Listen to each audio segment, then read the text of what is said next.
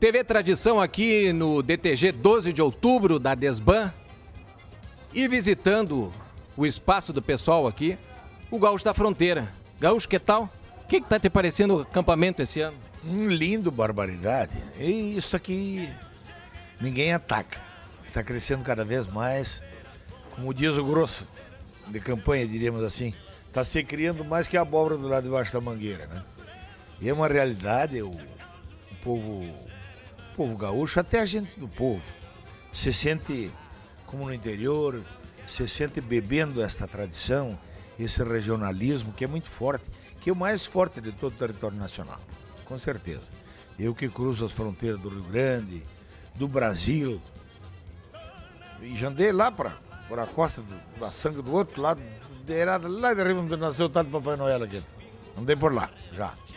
Então a gente sabe, a gente conhece, a gente vê isso aí. O gaúcho é muito bem aceito, porque pelo seu jeito, pela sua simplicidade, pela sua hospitalidade. E para nós qualquer galpãozinho já tão é um palacete.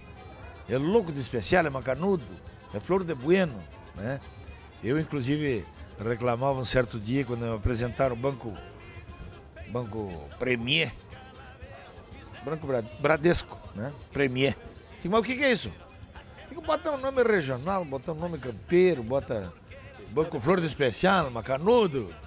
Enfim, eu tenho meu, meu jeito de.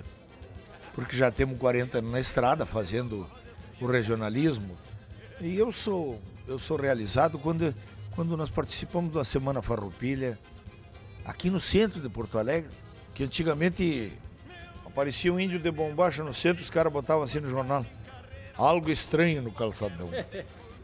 Hoje o Rio Grande se veste de bombacha. O gaúcho, o povoeiro, se veste de bombacha, toma chimarrão, come churrasco, prova a nossa culinária campeira, a nossa música, a nossa arte, a nossa poesia.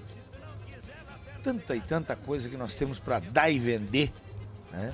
E acho muito importante que isso está se transformando numa realidade. Quando nós vimos o acampamento aqui, isso veio do interior, é a força do homem do campo, da pessoa do interior que veio para a capital e hoje está aqui, está incrustado no, no coração de Porto Alegre, cada dia se esparramando mais, como eu digo. Então eu sou feliz, sou realizado, sou, sempre fui um batalhador. Eu estou há 50 anos no Brasil, 50 anos aqui no Rio Grande do Sul de. Faz dois anos que eu sou brasileiro e sou gaúcho igual que todos vocês. Né? Porque sou naturalizado hoje.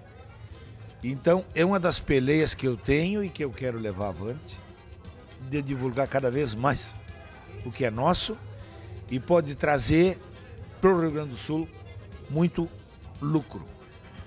Nós precisamos divulgar no país e no exterior para que isso se torne um carnaval tipo a festa do carnaval no Rio de Janeiro.